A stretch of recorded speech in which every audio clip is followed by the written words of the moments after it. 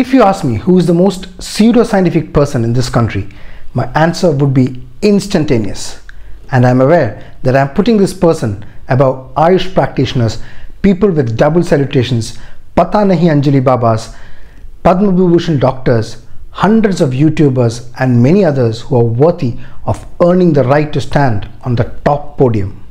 However, I think this one self proclaimed guru rightfully earns the top spot for being consistent in varnishing pseudoscience in all his videos. Peddling his superstitions under the cloak armed with a good vocabulary and western accent, Jaggi, the pseudoscience guru, motors along across the finish line when it comes to pseudoscientific beliefs. From saying that women with twins produce two kinds of breast milk to one should not eat during eclipses to how evolution was understood by the yogis 15,000 years ago to adding words like cosmos and dimensions to every second line as if he's an astrophysicist, this ex-chicken farmer pulls wool over the eyes of millions of his devotees. Every year, he conducts an all-night religious party at his Isha Foundation headquarters in Coimbatore on Mahashivratri and this year was no different. Lakhs of people attended throwing COVID norms in the wind in a ceremony which lasted for 12 hours. Even before the so-called ceremony started, he had shared many videos through his numerous YouTube channels urging people not to sleep on the night of the 1st of March. My aim with this video is to debunk the pseudoscientific claims made in these videos. If you are a first time visitor to my channel, please subscribe for more such videos.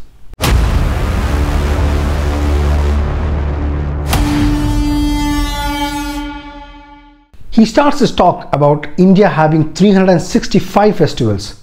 What? Where? When would you get any work done if we are just celebrating the whole year? He himself says that due to economic reasons, only 50 to 60 festivals remain, out of which only 5 or 6 of them are celebrated in a big way. He says a few of them are social and hardly any of them are religious. Does he mean to say that Diwali, Holi, Shivratri, Janmashtami, Ganesh Chaturthi, Ramadan, Easter and Christmas don't have religious links? Oh boy, oh boy. He then links the festivals to the calendar and the calendar to the solar system.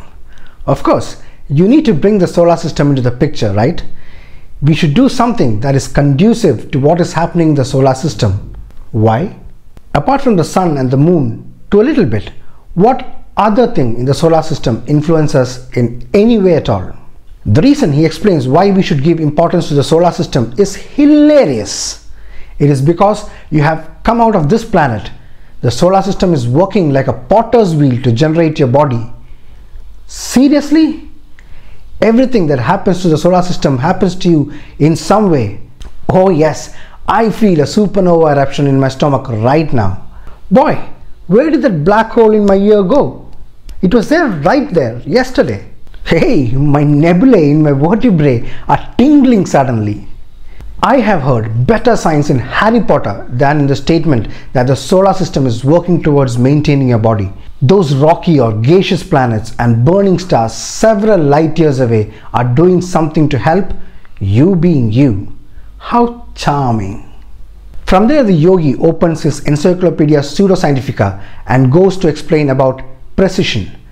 I felt sad when I heard the explanation of what his understanding of precision is. For those who are unaware, precision is a 23 degree curve to the earth's axis which results in our seasons. I myself have done a video on that so I will link it up with a card above. He claims that due to the slight wobble in the way the earth rotates, which he mentions is due to precision. Alas, NASA says it is due to glacial rebound, melting of ice and mantle convection that the earth wobbles on its axis as it spins and not due to any precision. Whom to tell and who would listen? So apparently due to precision, there is an upsurge of energy, especially in the northern hemisphere. Why only the northern hemisphere and the precision causes seasons in the southern hemisphere too? Could it be because we are in the northern hemisphere? Oh no, you cannot question the teacher, right? Every life form apparently experience an upsurge of energies within themselves. What energy is he talking about? the energy can only be made use of by creatures which have an erect spine. How convenient. I wonder if chimpanzees, bonobos and gorillas feel this upsurge of energy at all. This is called anthropocentrism, the belief that human beings are the central or most important entity in the universe, a pseudoscientific claim which is not supported by evolution or by any biological science. By the way, is the human spine really erect? His video shows it as being straight, but the truth is that the human spine is in the shape of an S. This shape allows for an even distribution of weight and flexibility of movement. Anyways, he says that if you lie down on that night, the energies that are trying to move upwards are being obstructed. Any scientific basis for this statement? None just pseudo-scientific bamboozle to hoodwink people. From precision, he jumps to the ocean. For those doubting Thomases, he talks about the tide and the influence of the moon on tides. He mentions that on new moon day and full moon day, the earth is trying to rise. Hello? Hello? Hello? Hello? Hello? What about the other days? Could someone please tell him that the new moon and full moon are formed due to changes in the way sunlight falls on the moon and the moon in its entirety is present right there every single day and night? Probably because he has stayed in Coimbatore, which has no beaches, he hasn't seen tides enough to know about it. But tides happen every single day, irrespective of whether it is a full moon or a new moon, and not just once, twice and just FYI, the tides are not caused just by the moon. The sun too plays an important part in causing them, something a certain Isaac Newton explained a long time ago. Our sun is 27 million times larger than our moon.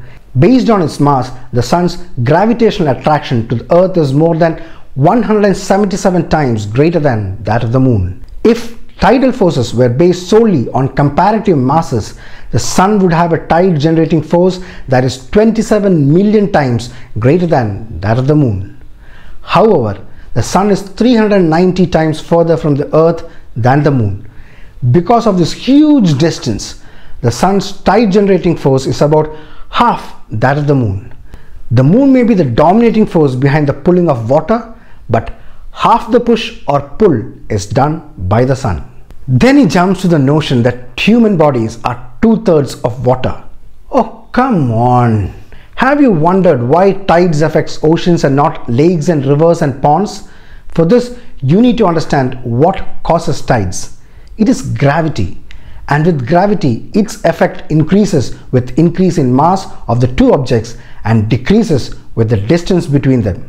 And oceans, as you would all know, is a bigger water body than lakes and rivers and ponds. So for these bodies, the effect would be very small for creating a visible effect. Now this is where the moon has to have an effect on water inside our body.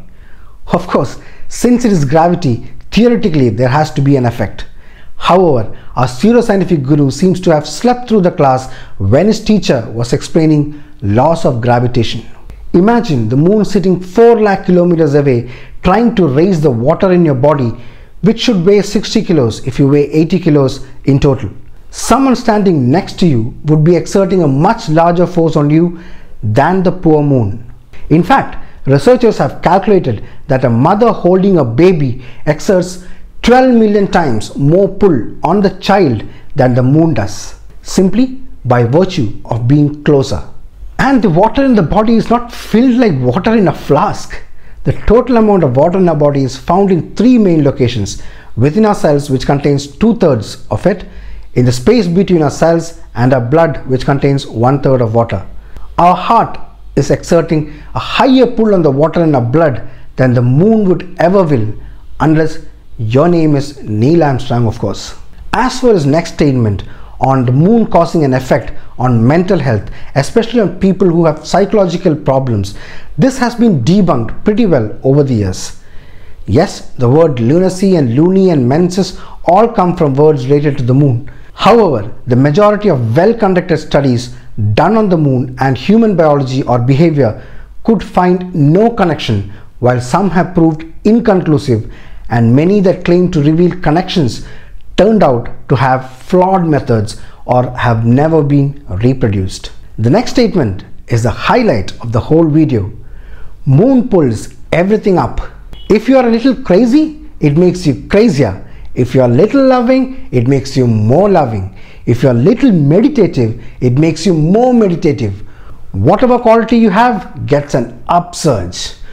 Oh my, oh my, oh my. Newton would have hung himself from the apple tree if he heard that gravity of the moon had an influence on how we love, meditate, etc.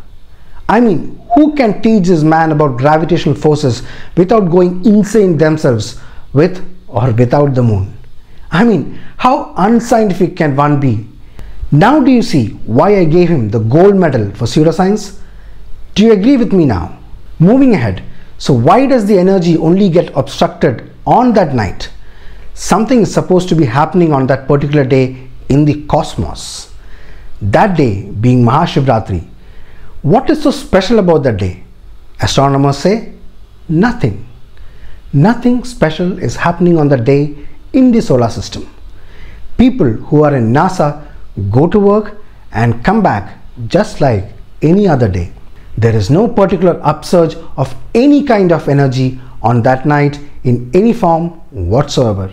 And the so-called energies are not getting pulled by anything in the solar system. I mean, he says that on that night when there is an upsurge, you need to be sitting with your spine erect so as to help the energies move up, up and away. And what is wrong if the energies, if they do leave, leave through your sides? Why should it leave through your head? I mean, this is like saying that the moon exerts a lot more pull on your head than your legs. Of course, the head is closer to the moon per se, but by how much? A meter? You think that would have an influence worth noticing? Seriously? Then comes the next significant part this is a technique often employed by people who try to find signs in religious scriptures. First, they mention something that is validated by science. Then they recite a verse from the Holy Book and they try to make a non existent connection. If you're trying to find nanotechnology in a scripture, you just need to search the books for two words, na and te, and that is enough to make the connection. You have seen that in my video on Hanuman Chalisa and the distance from the sun to earth, haven't you? This part is where the pseudoscientific magic happens. You may have seen magicians performing their tricks, right? When they are going to deceive you with whatever deception they are about to perform, they distract you with small talk or perform something which distracts you from the main deception. This is exactly what Jaggi does next. Jaggi starts talking about evolution as if he's the grandchild of Charles Darwin. The effect? People will think he's speaking something big in science. But remember, this is just to divert your mind away from all the pseudoscience that he has spoken earlier and to make you believe that what he is talking is science. Just like the magician trying to hide the main part of the act, so does Mr. Pseudoscience by talking about evolution and how the brain was developed. Evolution does not have a purpose nor a direction, Swamiji. Humans were evolved just like any other animal and not evolved so that they would have a thinking brain. This is evolution 101. So to summarize, there is an upheaval of energy only in the northern hemisphere due to the precision on one particular night which affects only human beings and if you sit with your spine erect, you will channelize all these energies the right way. I bet all the people in NASA and the hundreds of astronomical centers around the world were sleeping with their instruments turned off and did not realize that there was this huge energy flow happening and no sensors detected any change in their screens on the 1st of March. What a terrible loss to science. Finally, he sums up his pseudoscience video in Deepak Chopra style sprinkling scientific jargons into the soup of spirituality and you will see words like transcended, yogis, perception, senses, physical realities, beyond the physicality of nature, the dimension of perception which is beyond the physical, the third eye and so on. Makes one nice word salad and for the pseudoscientific minds, this makes a complete meal. If you want to know more words and how they market their pseudoscience scam, My good friend Pranav has done a video on his channel Science is Dope where he has highlighted how these scammers use these words in their talks to befuddle people. I will share the link in the description box and it's worth a watch. And please support him too while you're at it. Apparently Shiva opened his third eye on the day of Shivratri. So if you want to open your third eye or a deeper dimension of perception, you need to stay awake with your mm, spine erect so that you can open your third eye. I wonder how many third eyes opened on 1st of March 2022 after watching his Jagran? I'm not sure. I had both my eyes tightly shut throughout the night. I'm happy with my three dimensions that I can perceive and transcend. Thank you very much. Jaggi also has made many videos where he has peddled his superstitions charismatically, like the video on why people should not sleep facing north. I had done a video earlier debunking this myth on this channel and you can click here to watch that after this one. So I hope you like this episode. If you did, please comment and let me know. If you want to watch more scientific videos in English, please subscribe to my channel and head over to the video section. I will be back with more soon. Until then, it's bye-bye from Pale Blue Thoughts.